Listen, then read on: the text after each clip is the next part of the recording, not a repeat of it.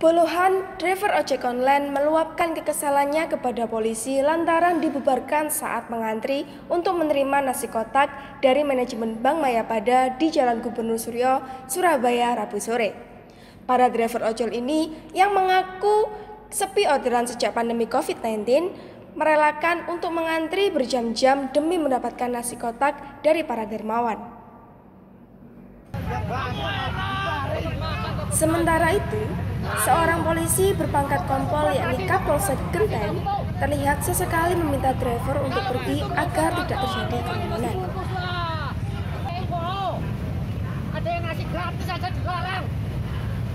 Bukannya diindahkan, para driver ini malah mengancam dan memprotes kepada petugas yang terlihat seorang diri.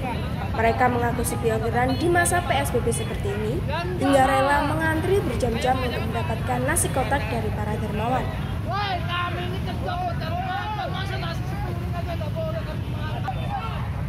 Sabar bagaimana Pak? Sudah belani aplikasi dimatiin hanya untuk kejar nasi satu bungkus. Saya aja petugas itu loh aplikasi belani mau mengejar nasi satu bungkus loh. Katanya aplikasi.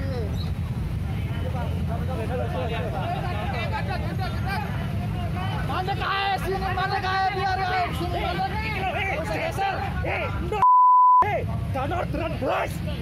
Jangan orderan belas. Gak usah. Ada bojo makan apa? Melihat desakan ojek online itu, petugas tak bergeming. Ia bahkan terlihat tenang dan tetap menghimbau driver online untuk segera pergi. Meski sempat mengalami tarik ulur, pembagian nasi kotak jelang berbuka itu pun akhirnya dilakukan di dalam area Bank Mayapada untuk menghindari kerumunan masyarakat yang lebih banyak.